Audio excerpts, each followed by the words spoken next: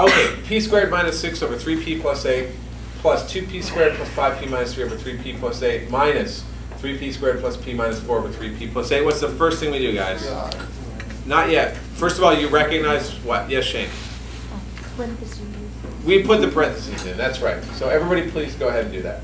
Put the parentheses in, and that's gonna make your life a lot easier. Okay, then what do we notice? What operation symbols are these, guys?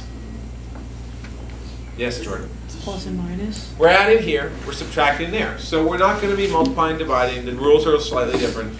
A lot, now some people went ahead and tried to factor this. The, what, yeah, you factor that when you're doing the multiplying and dividing stuff. Do you know what I mean? Remember the question number two and three, when, when this factored? That was for the, that kind of question. For this, when we're adding and subtracting, we're going to find the common denominator and then collect the like terms. That's a bit different, so you don't want to factor, at the beginning anyway, you don't want to factor the numerator in the adding and subtracting problems, okay? So be careful of that. Understand, that's why I keep telling you, what operation is it? Because then if you know that, hopefully you remember some of the other stuff. Okay, Arthur, what's our first step? Did you try to do this all in one step? What's our common factor? The common factor is three p plus eight. Excellent. 3p plus 8 is the common factor. So now we've written the common factor, the lowest common denominator. What about the numerator?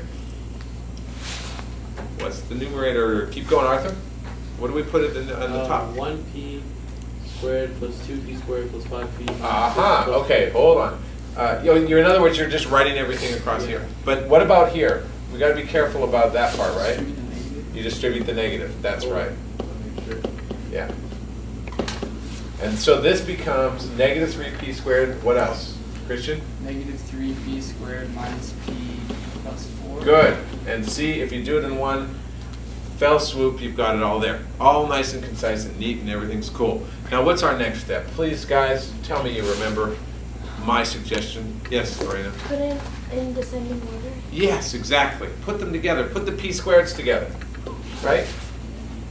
Take the time to organize your stuff, your, your material, and then everything else will fall into place. And don't forget, this is negative 3p squared that time.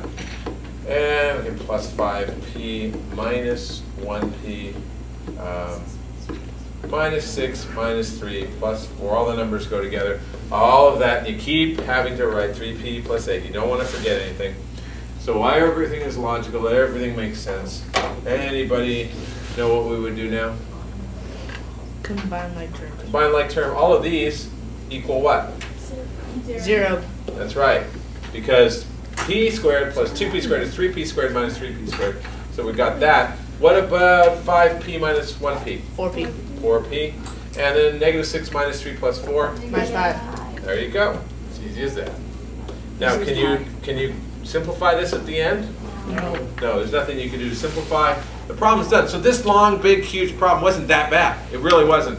As long as you remember to simplify, as long as you remember to put the parentheses up there, distribute the negative, collect like terms in the way that you know how, which is to organize them properly, and really it came out quite nicely. 10-5, or are you just stretching? 10-5 is what? Can anybody describe what this is? Does anybody have the title of this section? Do you remember what it is, Jason?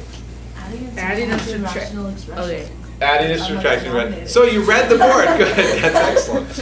Um, adding and subtracting rational expressions with unlike denominators. In other words, they're not the same. It makes it harder, doesn't it?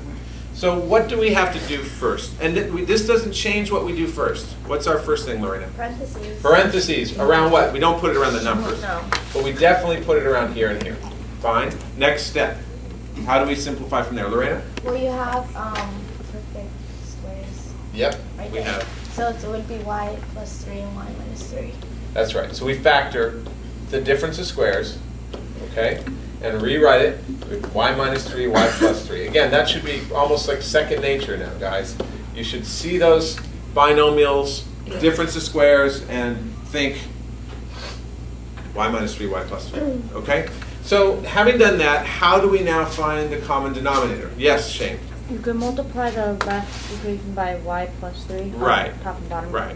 So That's good. She's one step, slightly one step ahead, but what is the common denominator? What is the thing that I write? Now, when I go like this and I write a big line under here, what do I write? Yes. Um, do you have somebody, do you know? You have your hand up? Should we say on the right? Uh, Arthur. Y minus three y plus. That's right, y minus 3, y plus 3. That is the lowest common denominator. Okay?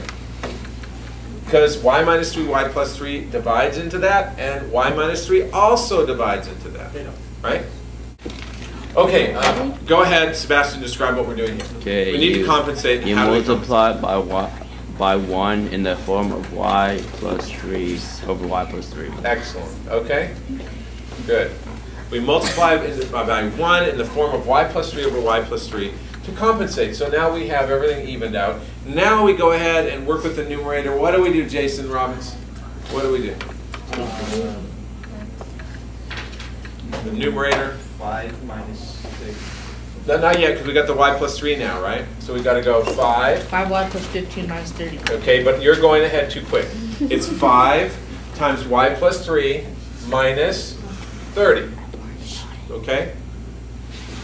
Why do we have the y plus three? Because. Yeah, how'd you get the five? Why do we get the y plus 3? That's great. That's a good question. That's why. Jordan, go ahead. Okay, so you can make the denominators the same. Right, right. And Christian, is that what you were going to say? No, I was gonna ask a question actually. Okay, good. What's your question? How is y squared minus nine, y plus three, y minus three? Oh, how is Can I- can y I squared find out? minus, oh, y squared minus 9 is Can y I minus say- 3, y plus 3. Go ahead, Leon. Because when you FOIL it out, then that's what you get your y squared. Yeah. Plus minus nine. Different, we factor by difference of squares. Because which y times y equals y squared and then negative three times y y. times y, yeah, if you were to go back, back this out, y times y is y squared, y times 3 is 3, and then negative 3y. Okay, still working at trying to figure out what, yeah, you got it. Basically, we want the common, we've got a common denominator, y minus 3, y plus 3. And to get this part of this to be the common denominator, you've got to multiply by y plus 3 over y plus 3. You got to, mathematical principles don't allow you to just multiply by y plus 3. You know what I mean? I mean, just visually, you can see that you got to multiply by y plus 3 so that this looks like this. Okay? Visually, you can see that. But mathematically, you can't just do that. You can't just randomly put a 1 over y plus 3. You know what I mean? You have to go by principles and balance and go, okay, if we multiply the bottom by y plus 3, then, Jason, then we've got to multiply the top by y plus 3 as well. And that's why it's 1 in the form of y plus 3 over y plus 3. Lots of practice is needed for this stuff. Okay, we're almost done. As, um, as Jason Wolf said, then you can do that now, Jason, go ahead. y plus 3 over y plus 3. It's 1 in the form of y plus 3 over y plus 3. Anyway, going right along here, Jason, go ahead and finish this off. It's 5y plus 15, minus right? thirty Yep, over y minus three y plus three. yep, And that'd be five y uh, plus fif- mi- wait, minus fifteen yep. Over y minus two y plus three. 5y minus 15 over y minus 3, y plus 3. We're not done yet, are we? Or are we? No. No, Why not? we can Uh, factor. factor the top. What do we get? Five and then y minus three, Yep. and then the same. on the bottom. Okay, good stuff.